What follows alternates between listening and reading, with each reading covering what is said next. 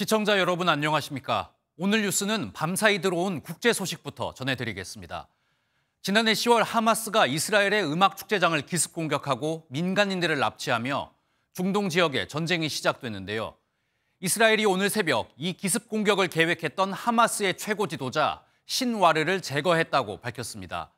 1년 넘게 이어지고 있는 가자지구 전쟁의 최대 분수령이 될 전망입니다. 먼저 주진희 기자입니다. 잔해 속에 있던 한 남성의 시신을 이스라엘군이 둘러싸고 이곳저곳 살펴봅니다. 지문과 DNA, 치아 등을 비교한 결과 하마스 지도자 야히야 신화르로 밝혀졌습니다. עסק בהכנות האחרונות לטבח ה-7 באוקטובר.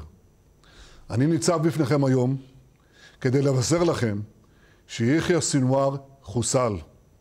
החמאס לא ישלוט יותר בעזה. 이스라엘군이 가자지구 작전 도중 하마스 대원 3명을 제거했는데 그 중 한 명이 신화르였던 겁니다.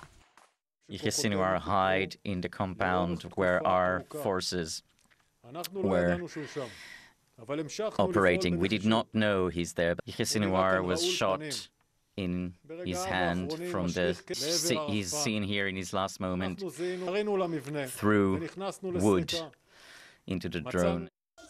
신하르의 제거가 가자 전쟁의 중대한 분수령이라는 데에는 이견이 없지만 전망을 두고는 의견이 엇갈립니다.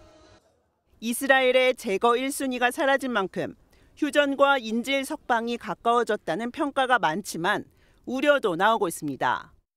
There is the possibility that without any kind of obvious leader for Hamas, that you could see chaos and you could see uh, risks to the lives of the hostages in the absence of clear direction from a senior leader. 이스라엘은 인질을 해치면 끝까지 쫓을 것이니 나머지 하마스 대원들은 즉각 인질을 석방하고 항복하라며 전쟁은 끝나지 않았다고 밝혔습니다.